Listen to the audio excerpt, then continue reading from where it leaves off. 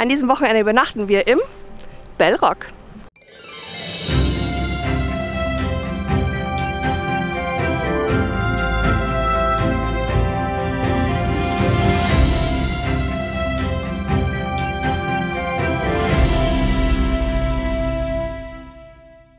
Hallo meine Lieben und schön, dass ihr wieder eingeschaltet habt zu einem weiteren Europapark-Video hier auf meinem YouTube-Kanal. Ja, lange ist es her, dass ich im Europapark war und bisher habe ich auch nur einmal im Kolosseum übernachtet, sonst äh, die Europapark-Hotels eher noch nicht besucht. Dieses Wochenende übernachten wir im Bellrock. Wir besuchen das Rolantica, das seht ihr aber im separaten Video. Wir sind jetzt angekommen, wir haben halb zehn, äh, checken ein, also äh, Zimmer wird wahrscheinlich noch nicht fertig sein. Übrigens die Wiki mit dem Guten Morgen! rollenden R. ist auch wieder dabei. ähm, genau, ich weiß gar nicht mehr, welches Zimmer wir gebucht haben, aber das zeige ich euch natürlich. Wir haben heute leider keinen Platz hier im Restaurant bekommen, sondern äh, im Kronasar. Äh, Im Buffet-Restaurant, da nehme ich euch natürlich auch mit. Zeige euch, wie das Bellrock hier von innen aussieht und morgen das Frühstück. Und ich würde sagen, wir gehen rein.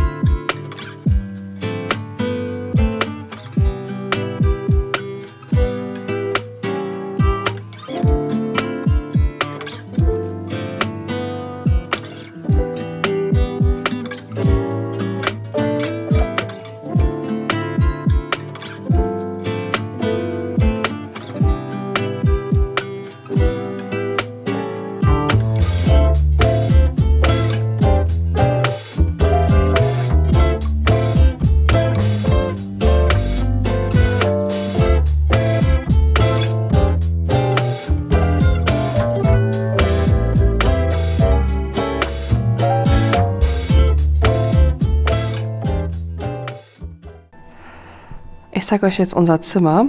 Wir haben eine Suite Lateinamerika oder lateinamerikanische Suite. Das ist die 6374. So, dann haben wir doch schon mal hier einmal Autogrammkarten von Berkeley und Louis. Zwei Stockbetten, also ein Stockbett für Kiddies. Ups. Wasserflasche. Eine kleine Sitzecke. Kaffeemaschine. Espresso. Kapseln.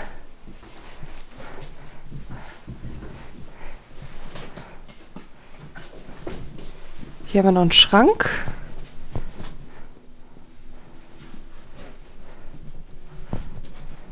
Hier gibt es nur so ein Gäste-WC. Ja, also eine Toilette. Schaut euch mal hier diesen Abfluss an. Süß. Und the Master, uh, the Master Bedroom. also schon schick. Welcome to Bellrock. Bademantel für morgen, Schlappis, Fernseher, das Badezimmer mit Badewanne, einer großen Dusche, Pflegeprodukten, auch für die Kiddies. Guck mal, mit Ed und Edda. Richtig schön. Richtig, richtig nice. Oh, guck mal, Lindschokolade und Gummibärchen gab es auch. Und da ist wohl noch ein Schrank. Vielleicht ist das ein bisschen auch wie bei Harry Potter, dieser Schrank, wo der wohl hinführt.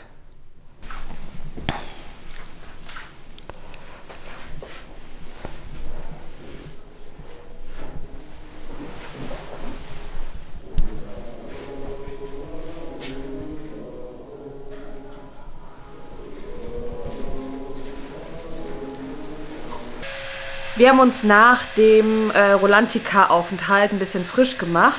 Und ähm, ja, wir haben eine Suite buchen müssen, da nichts anderes mehr frei war. Wir hatten, glaube ich, vor zwei, also als wir ein bisschen in Paris waren, tatsächlich vor zweieinhalb Wochen die Idee, nach Rolantica zu kommen. Hatten dann direkt nach Hotels geguckt. Und ja, da war halt schon vieles ausgebucht. Wir hätten auch das Kronasar tatsächlich bevorzugt wegen, der, wegen dem Übergang zum, zum Rolantica, aber es war alles restlos ausgebucht. Ähm, und im Ballrock waren nur noch die Themensuiten frei. Wir haben jetzt für eine Nacht für zwei Personen inklusive Tickets für Rolantica. Äh, morgen natürlich Frühstück dabei. Wir haben jetzt eben noch einen Willkommensdrink bekommen. 600 Euro bezahlt.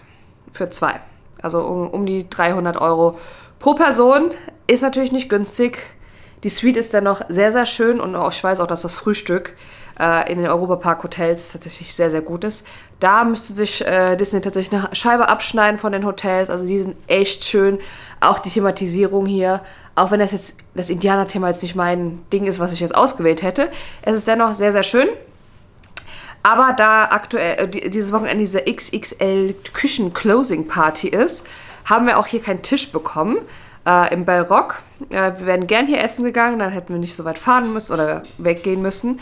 Und den einzigen Tisch, den wir noch bekommen haben, war im Kronasar im Boba Sven. Oder Svens, äh, das Buffet-Restaurant im Kronasar. Das heißt, da fahren wir jetzt wieder zurück hin. Wie gesagt, wir haben uns fertig gemacht und jetzt geht es wieder zurück ins Kronasar, ins Boba Svens. Da werden wir zu, essen, was, äh, zu, zu, essen zu uns nehmen. Das heißt, ja, zeige ich euch natürlich in diesem Video auch. Hat nichts mit dem Bellrock Video, also oder mit dem Bellrock Hotel zu tun. Aber danach nehme ich euch noch mit in die Bar. Äh, zeige euch dann noch äh, gerne das Essen aus dem Boba Svens. Morgen werden wir noch den ganzen Tag dann hier im Hotel verbringen. Wie gesagt, Frühstück zeige ich euch morgen dann noch. Wir gehen in den Wellnessbereich. Ich zeige euch das Hotel auch nochmal genauer. Ihr könnt ja auch gerne mal unten in die Kommentare schreiben, wie eure Erfahrungen mit den Europapark-Hotels sind. Das ist jetzt mein zweiter Aufenthalt im Europapark-Hotel. Das erste Mal war ich im Colosseo damals mit Wake Wish. Und jetzt äh, hier im Bellrock. Ähm, ich würde auch gerne nochmal die anderen Hotels mir anschauen. Vicky ist auch dabei, hat sie gesagt. Die nächsten Jahre, Monate, keine Ahnung, mal gucken. Und ja, also schreibt es gerne unten in die Kommentare, wie ihr die Europapark-Hotels findet. Welches ist euer Lieblings-Europapark-Hotel?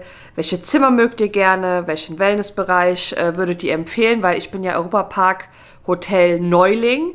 Ich kann euch auch gar keine Tipps geben oder so. Deswegen freut mich, äh, wenn ihr der Community weiterhelfen könnt bei dem Thema. Also schreibt es einfach unten in die Kommentare und denkt auch daran, meinen Kanal zu abonnieren, wenn ihr es noch nicht getan habt.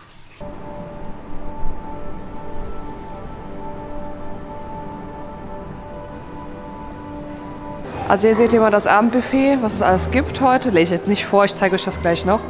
Kostet 39,50 Euro für Erwachsene und für Kinder 14,50. Und Kinder bis 5 Jahre sind gratis. Also ich weiß nicht, ich finde es irgendwie ein bisschen beängstigend mit den Robotern. Also das ist ja wahrscheinlich unsere Zukunft, aber das ist schon irgendwie witzig.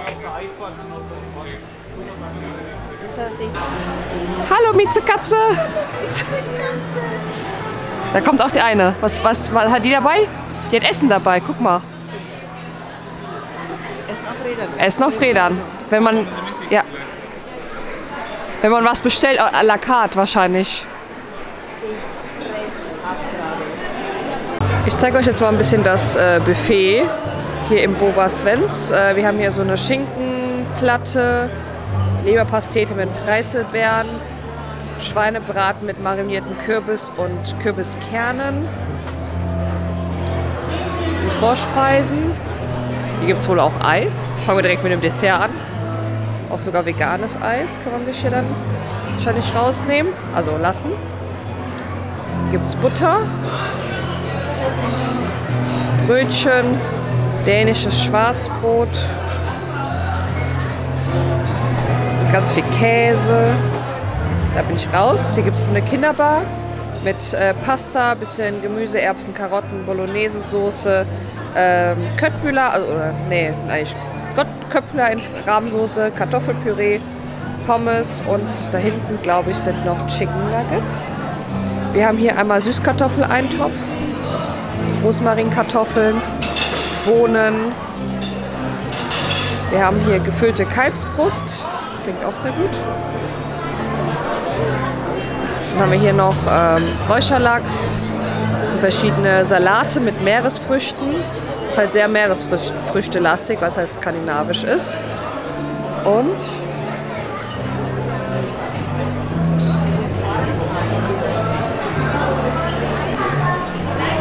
Ich war gerade eben ein bisschen perplext, weil äh, ich dachte, das wäre alles, aber nein, hier gibt es noch einen Nebenraum. Hier gibt es auch noch Kürbissuppe mit Salbei-Croutons.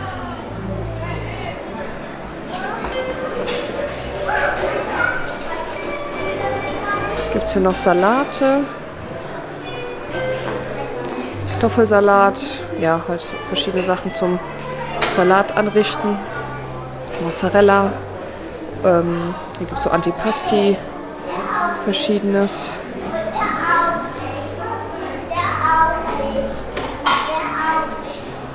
Kommen wir zum warmen Falafel mit äh, Joghurt-Sesam-Dip, Süßkartoffelpommes, Maultaschen, Gemüsepfanne, Bandnudeln, Semmelknödel,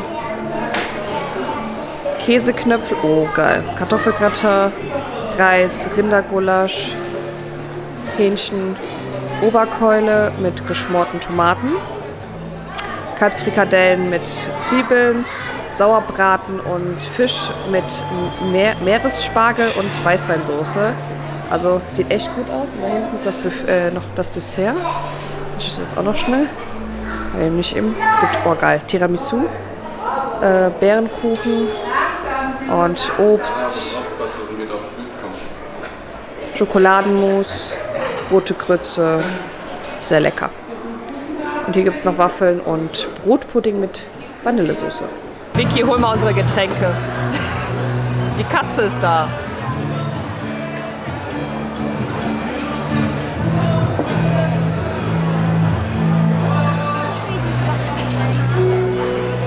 Guck mal, sie hat sogar gefreut. Hast du nicht gesehen. Tschüss. Also mein erster Gang ist ähm, die Kürbissuppe mit den Salbei-Croutons und ein Vorspeisenteller. Sieht echt gut aus. Ich probiere jetzt mal die Kürbissuppe.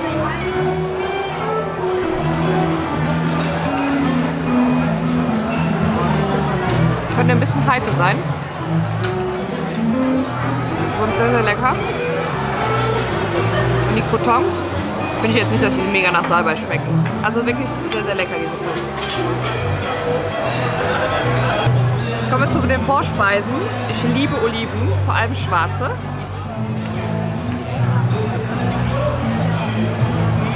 Sehr, sehr lecker. Und die haben hier auch so verschiedene Wurstsorten, wo ich mir jetzt mehr von jeder einer genommen habe. Keine Ahnung, ob sie schmecken.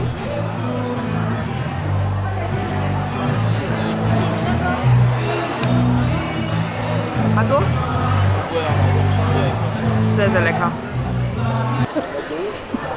Ja, wie gesagt, gerade mein Teller ist sehr voll. Ja, also ich habe gesagt, die Teller sind mir zu klein. Man muss halt öfter laufen. Ja, mein erster warmer Teller wird bestimmt nicht der einzige sein. Unten habe ich irgendwie Käsespätzle, Köttbüller, Kartoffelgratin, Kalbsfrikadelle, ein Falafel zum Probieren und Lachs.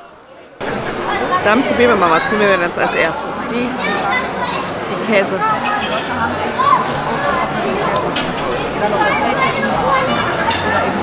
Restaurants zu machen, schon gut. Man kann nicht das Ausland oft nicht halt, aber man kann immer das als Maßstab, ist ja logisch. Wir sind ja von hier. Wir sind hier. Also Käsespätzle, sehr lecker. Kartoffelgratin auch. Bisher habe ich nichts gegessen, was mir nicht geschmeckt hat.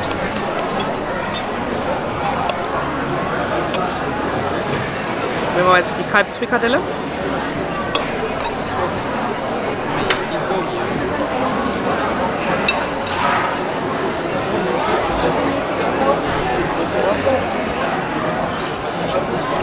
Ist gut. Sehr, sehr lecker.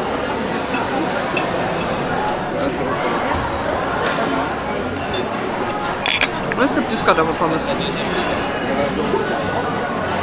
Mach ich auch gern. Eine Sache leider muss ich bemängeln, der Fisch, also der Lachs. Der ist leider tot gegart. Also, also es, schmeckt lecker mit der Soße, aber der ist einfach zu lang gekocht worden oder gebraten, was auch immer. Deswegen Der Fisch ist jetzt nicht so dumm. Eigentlich schon Pappstadt, aber Dessert muss sein. Und zwar einmal Tiramisu, dann Brotpudding mit Vanillesoße, das ist aber skandinavisches, musste ich mal probieren. Und Mousse. Was hast du? Ich habe ein bisschen Tiramisu und ich habe hier auch Brotpudding mit Vanillesoße und äh, zwei Mini-Waffeln mit Schokosoße. Guten Appetit. Ich liebe ja auch Tiramisu sehr, sehr gerne. Also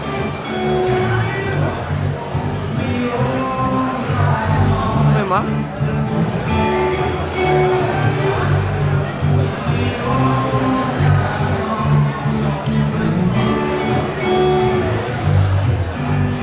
Tiramisu ist sehr lecker. Das war den Brotpudding. Keine Ahnung, was ich mir darunter vorstellen soll.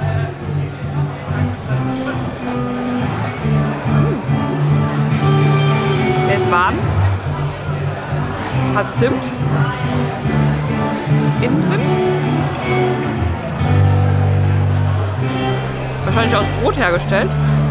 Wenn es so heißt. Aber süß gemacht. Sehr lecker. Aber wer keinen Zimt mag, sollte es aber nicht essen.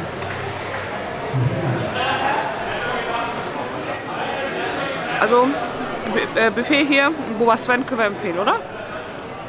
Sehr. Neun, Approved. approved, 39,50 Euro. Nicht günstig, aber mittlerweile wie Disneyland Paris Preise. Obwohl jetzt hier kein Getränk inklusive ist. Wir noch drauf zahlen. Wenn wir jetzt mit dem Plaza Garden vergleichen. Ähm, aber dennoch finde ich besser als das Plaza Garden zum Beispiel. Oder? Wie gesagt, auch ja. Ja. Ähm, viel mehr Auswahl und ähm, ja. Also, klare Empfehlung. Wir haben uns jetzt hier in der Spirit of St. Louis Bar niedergelassen im Hotel Bell Rock und ähm, lösen unseren Gutschein ein, den wir bekommen haben beim Einchecken. Und dann geht's ab ins Bett. Aber es sieht sehr, sehr schön aus. Also vom Hotel Kolos, ähm, Kronasal bin ich auch mega begeistert. Auch vom ähm, Bell Rock hier. Sehr, sehr schön. Also ich muss leider das Video umbenennen. Es ist kein äh, Hotel Bell Rock Video. Es ist ein Europapark Hotels Vlog, würde ich ihn jetzt mal umbenennen. Weil wir haben es leider nicht geschafft, jetzt im Bell Rock zu frühstücken. Ähm, wir haben einfach ausgeschlafen. Wir haben keinen Wecker gestellt. Und zack, es war halb zehn. Und im Bell Rock gab es nur Frühstück bis 9 Uhr. Und ähm, El Castillo gibt es Frühstück bis 12, ausnahmsweise, wegen, glaube ich, dieser XXL-Küchenparty. Genau, da laufen wir jetzt rüber ins El Castillo, das ist da links, glaube ich. Wir werden da jetzt frühstücken und dann gehen wir jetzt noch danach wieder zurück ins Barock und da den Wellnessbereich nutzen.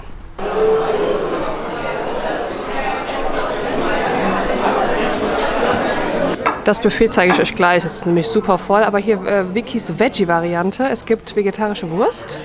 Was ist das? Kartoffelpuffer und Ei. Guten Appetit. Und das ist mein Frühstück. Ähm, wie gesagt, es ist super, super voll. Es gibt kaum Gläser, kaum Tassen. Heißes Wasser fehlt. Es ist halt super, also von der Küchenparty ist es halt sehr, sehr viele Menschen. Kann ich verstehen, aber damit rechnet man halt. Ja, sehr, sehr schade. Ich habe super Erfahrung vom äh, Frühstück im Colosseo, wo wir damals waren. Jetzt das, äh, ja, geschmacklich weiß ich noch nicht, das probiere ich jetzt alles, aber organisatorisch ist erstmal äh, leider nicht so toll. Ich zeige euch jetzt hier das Buffet im El Castillo. Also hier gibt es Kaffee, Milch.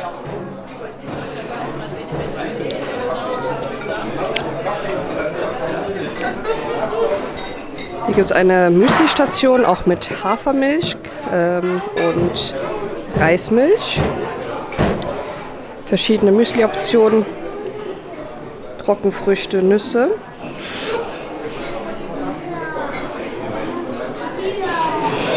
Es gibt hier auch Bischermüsli, Erdbeerjoghurt, Vanillejoghurt, Aprikosenjoghurt, Naturjoghurt, Obstsalat, verschiedene Käsesorten, Sahnemeerrettich, geräucherten Lachs, der gerade nicht da ist. Äh, Gibt es hier normalerweise auch Kapern dazu, Schwarzwälder Schinken, Teewurst, habt ihr da hinten Salami, äh, gekochten Schinken, Liona, Gouda, Quark, Emmentaler Frischkäse, Putenliona äh, und Putenbierschinken. Also das ist wahrscheinlich hier das. Und das ist halt die Schweinefleisch, ähm, der Schweinefleischbereich. Gibt Gurken und Tomaten. Verschiedene Marmeladesorten. Schwarzwälder Kirsch, äh, Schwarzwälder Kirsch, schwarze Johannisbeere, ähm, rote Johannisbeere, Quittengelee haben wir hier, Dreifrucht, Aprikosenmarmelade, Erdbeermarmelade. Dann gibt es äh, Bezellmargarine, die vegan ist. Richtig gut, Honig. Und äh, das ist die normale Butterstation. Da drückt ihr einfach auf den Knopf, steht euren Teller drunter und dann kommt die Butter da raus.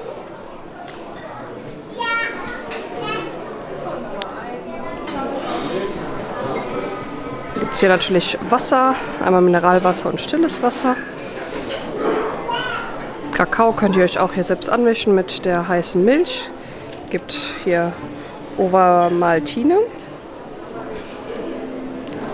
Hier gibt es noch eine gluten- und laktosefreie, ähm, ein gluten- und laktosefreie Bereich mit ähm, Joghurt, mit Lakt also laktosefreiem Joghurt, laktosefreier Butter, ähm, laktosefreiem Käse. Dann gibt es hier noch so äh, veganen Brotaufstrich, Le Parfait. Gibt es hier auch. Und glutenfreies äh, Früchtemüsli.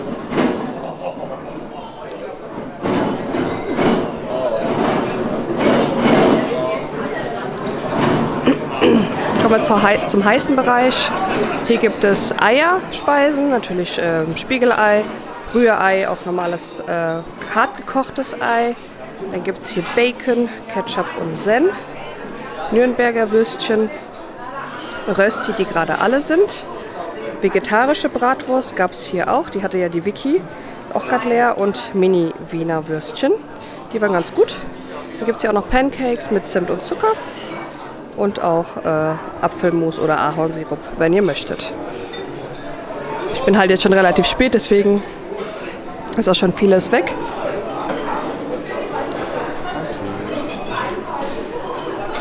Hier gibt es die Teestation. Hier seht ihr die verschiedenen Teesorten. Für jeden was dabei. Und hier ist die Saftstation mit Orange und Multivitaminsaft.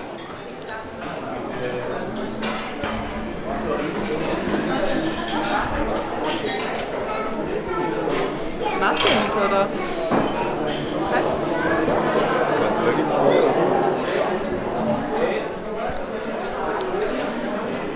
Und hier ist die Brot- und Brötchen-Ecke. Ja, die Brötchen sind gerade alle, wie ihr sehen könnt. Äh, Die werden jetzt nachgeliefert. Ansonsten seht ihr hier auch die Brötchensorten.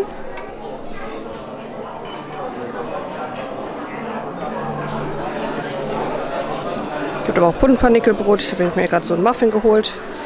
Ähm, es gibt auch Milchbrötchen, die hatte die Vicky. Ja, also auf jeden Fall für jeden was dabei.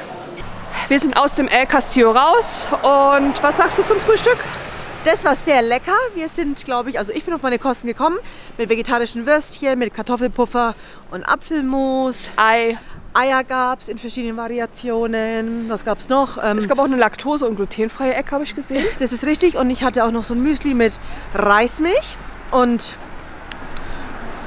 leckere Brötchen. Ich bin satt. Ja. Also ich bin so satt. Ja. Äh, aber war sehr chaotisch. Also, war, als wir kamen, war sehr, sehr voll. Also war, glaube ich, Hochzeit. Das hat sich dann so in einer halben Stunde gelegt. Aber irgendwie kamen die Mitarbeiter nicht hinterher mit dem Abräumen, mit dem Gläser und Tassen bringen, mit dem Auffüllen. Also das war sehr, sehr voll und chaotisch, wie gesagt. Aber es war dennoch lecker. Und wir laufen jetzt rüber zum Bellrock. Gehen da jetzt noch für zwei, drei Stündchen in den Wellnessbereich. Schauen uns den mal an. Den zeige ich euch Chili Vanilli. zeige euch den natürlich auch. Und ja, dann geht es wieder zurück nach Hause. Schauen wir mal kurz hier im Shop vorbei, was es hier so gibt. Gibt ein bisschen Deko, also Zeitung könnt ihr euch hier kaufen. Verschiedene. Gibt es hier ein bisschen Deko, auch hier dieses Maritime, passend zum Bellrock. Gibt's Wintersachen, Mütze, Schal für Kinder, Handschuhe. Natürlich auch Ed und Edda Merch. Ganz, ganz viele Mäuse. Kinderspielzeug. Europapark Monopoly. Wusste ich gar nicht. Europapark hat auch sein eigenes Monopoly. Und ist günstiger als im Disneyland Paris. Hier kostet es nämlich nur 50 Euro. Disneyland 70. Multifunktionstücher gibt es hier. Ein paar Babysachen mit Ed und Edda, richtig süß. Und natürlich auch die Rolantica-Bücher, die die Geschichte von Rolantica erzählen. Also auch für Kinder mega schön.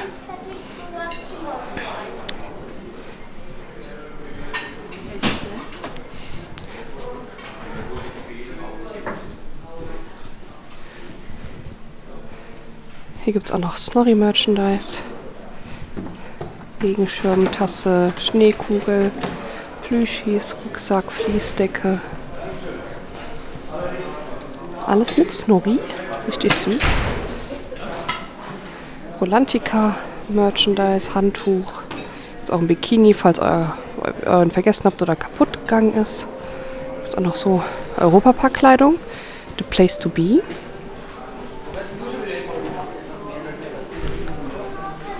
Und Kleidung von Socks, glaube ich, wird es ausgesprochen. Puma und Camp David. Und hier ist noch ein bisschen Europapark. Home-Utensilien, Tassen, Gläser, Weingläser. Echt richtig hübsch hier die schwarzen. Aschenbecher, Kissen. Ja, also das ist ein kleiner Überblick hier aus dem Shop. Also wir waren jetzt im Saunabereich so knapp drei Stündchen. Ne? Mhm. Was ich gut finde, ist, es gibt einen separaten Darmbereich. Also erstmal, man muss sich wie in einer ganz normalen Sauna komplett nackt machen, also kein Badeanzug, Bikini etc. Dafür gibt es aber extra einen Darmbereich mit einer finnischen Sauna und einem Dampfbad mhm. und nur drei Ruheliegen. Ähm, ist ein bisschen klein, aber natürlich super, dass da nur Frauen dann hin dürfen und auch Duschbereich etc. Dann gibt es natürlich einen groß, größeren gemischten Bereich mit auch einem Dampfbad, einer Biosauna mit 65 Grad, einer finnischen Sauna mit 80 bis 95 Grad. Dampfbad. Hatte ich schon gesagt. Wärmekabine gibt es noch. Und das war's. Drei Ruheräume. Der eine ist ein bisschen größer. Da gibt es auch Tee und Wasser zu trinken. Mhm. Die anderen zwei Ruheräume sind ein bisschen kleiner. Also das war tatsächlich, wir wurden jetzt nicht so herzlich begrüßt. Wir wurden direkt mit, den, mit dem Satz begrüßt, hallo, äh, irgendwie müsst auf, irgendwie Vorsicht, es ist mega viel los. Genau. Ähm, ja, danke. Das hätten wir dann auch gesehen, wenn wir drin wären. Ähm, genau. Aber ja, wir hatten, wir hatten eine schöne Zeit, wir haben uns entspannt. Ja, genau. Kann man auf jeden Fall sagen. Es ist ein schöner, ist ein schöner Bereich, kann ich euch natürlich nicht zeigen, aber es ist ein schöner Wellnessbereich. Äh, und es ist natürlich im Preis inklusive, das muss man natürlich auch sagen. Es ja. kostet nichts extra. Wenn ihr hier bei Rock übernachtet, dürft ihr diesen Bereich nutzen. Es gibt noch einen Pool auf der anderen Seite. Darunter? Der Pool.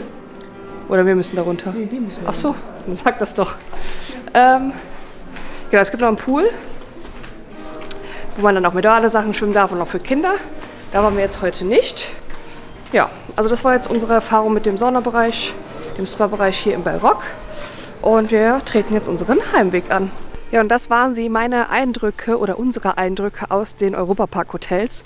Es war anders gedacht, dieses Video. Ich wollte eigentlich ein reines Bellrock-Video machen, aber jetzt ist es halt so ein Europapark-Hotels-Vlog mit verschiedenen Eindrücken. Ähm, generell, wir waren jetzt ja in drei Europapark-Hotels diese zwei Tage. Ob zum Essen, zum Frühstück oder zum Schlafen. Und generell die Europapark-Hotels sind wirklich super thematisiert. Also die Thematisierung können sie, die Umsetzung. Äh, das Bett war super bequem, das Zimmer war schön und das Frühstück war heute auch in Ordnung. Hat mich jetzt nicht umgehauen, aber natürlich ist es im Preis inklusive. Und auch der Wellnessbereich ist im Preis inklusive in allen Hotels. Und das ist natürlich super. Also, wie gesagt, war anders geplant. Ich werde bestimmt nicht das letzte Mal im Europapark Hotel übernachtet haben. Wir werden, also Vicky, Vicky möchte natürlich auch mal alle Hotels hier sehen, weil sie jetzt auch auf den Geschmack gekommen ist, auch von den Europapark Hotels. Und ja, wir werden dann bestimmt mal in dem einen oder anderen Mal wieder übernachten und dann hoffe ich, dass ich euch ein komplettes Hotelvideo zeigen kann und nicht nur so stückeweise. Aber ja, so war es halt dieses Wochenende. Es war halt mega viel Betrieb wegen dieser XXL Küchenparty, was ja verständlich ist. Es ist Wochenende. Viele möchten am Wochenende natürlich Rolantica oder die Hotels besuchen oder sind hier für die Party. Dementsprechend war es natürlich voll beim Frühstück und im Saunabereich und auch in Rolantica. Alles verständlich ähm, muss man natürlich damit rechnen. Ja, und das war's äh, mit dem Video. Ich hoffe, es hat euch gefallen. Wenn es euch gefallen, hat, lasst bitte einen Daumen nach oben da, abonniert den Kanal, drückt auf die Glocke und dann sehen wir uns ganz bald wieder und zwar im Disneyland Paris. Ciao!